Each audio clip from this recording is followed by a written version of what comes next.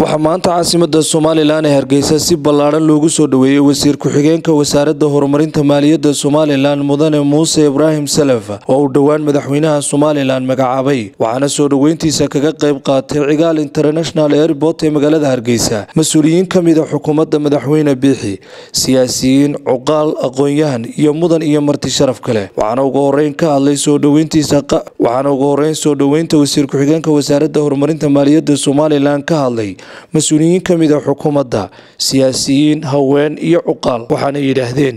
Hadalkeennuna ma badna ujeeddaduna waxa weye inaynu muuse ku soo dhoweyno waddanka. Muddo dheer muu maqnayn. Waddankana waxa weye xogogaal buu yahay. Shaqadanina maaha tii ugu horreysay ee waxa weeye uu qabto. Xilal horaa uga horreeyey. Dalka somalilan buu wax ku bartay isaguu ku dhaqnaa. Shaqooyin badan oo waaweyn oo xukuumaddan iyo waxa weeye howlaha dalka ka jira buu ka soo qayb qaatay ilaahay waxaan uga baryaynaa inu ilaahay xilka u fududeeyo. Kusoo dhowow dalkaagii iyo dadkaagii iyo xilka culus ee qaran ee uu madaxweynaha qaranku ku igmaday. Runtii muuse waa nin aqoon-yahana waa nin karti badan waa nin ka soo bixi karaya xilkan iyo xil kaleba guud ahaan dadweynahan faraha badan ee maanta halkan ku soo dhoweeyeyna aad iyo aad baan ugu mahadnaqaynaa. Ilaahay waxaynu uga baryaynaa inuu xilkaa ku asturo. Madaxweynaha waxaan ugu hambalyeynayaa inuu dhallinyaradii iyo da'yartii aqoon-yahanka ahayd imaka uu ka soo dhigayo uu ku bedelayo dadkii hore beeshangaroobey hambalyo hambalyo ayaan leeyahay. Dalkaaga iyo dadkaagana ku soo dhowow muuse waynu ugu ducaynaynaa xilkaa in ilaahay ku asturo. Waana nin xilkan iyo mid ka si muhiimsanba qaban kara. Aad iyo aad ayaan waxaan marka ugu horraysa horta u mahadnaqayaa. Madaxweyne muuse biixi cabdi oo gartay inuu magacaabo muuse salef oo ah nin dhallinyaro ah oo tacab badan soo geliyey xaqiiqatan. Sidii uu ku soo bixi lahaa madaxweynuhu. Muuse aad iyo aad baan saaxiib u nahay.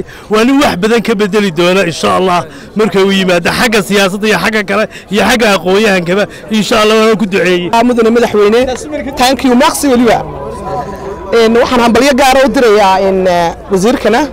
Ilaahay xilkaa kugu asturo baanu leenahay muuse ku soo dhowow dalkaaga iyo dadkaagaba aad baan runtii u soo dhoweynaynaa walaalkeen muuse salef.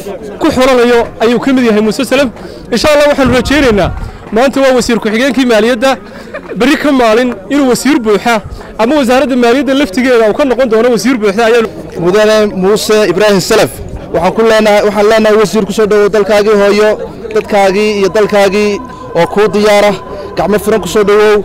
Ilaahayna waxaan ka baryaynaa inuu xilkaa culus ee madaxweynaha qaranku ku igmaday uu kuu fududeeyo.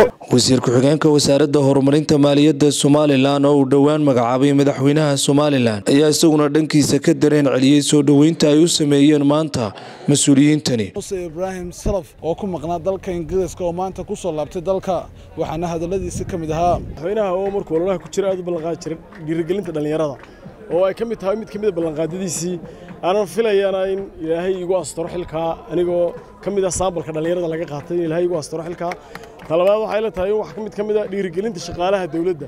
Because of waxa weeye muddaan ka shaqaynaysa dowladda qaarka dad kaloo ila midana madaxweynuhu ku dhiirigeliyey.